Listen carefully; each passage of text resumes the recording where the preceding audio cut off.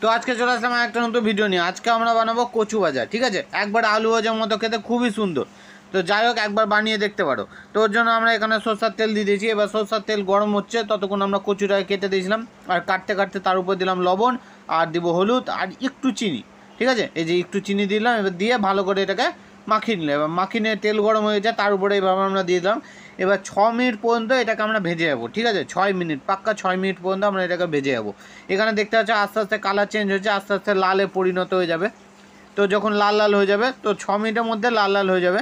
তো আমরা এটাকে উঠিয়ে নেব, ঠিক আছে? তো এখানে দেখতে হচ্ছে আমাদের এটা উঠিয়ে নিলাম। তো আমাদের এখানে কচু বাজার রেডি আর কিছু তোমাদের করতে হবে না, আমাদের ভিডিও শেষ। উপরে চারটা ভিডিও দেখতে পাচ্ছ ওগুলো মধ্যে একটা ভিডিও ক্লিক করলে আমাদের নেক্সট ভিডিও চালু হবে। ভিডিও দেখার জন্য ধন্যবাদ। ভিডিও ভালো লাগলে ভিডিওকে লাইক আর চ্যানেলকে সাবস্ক্রাইব করে নেবেন। আমাদের নেক্সট ভিডিও দেখার জন্য উপরে চারটা ভিডিও দেখাচ্ছে, ওগুলোর মধ্যে একটা ভিডিও ক্লিক করলে আমাদের নেক্সট ভিডিও চালু হবে। ওটাতেও লাইক করে দেবেন, ভালো লাগলে।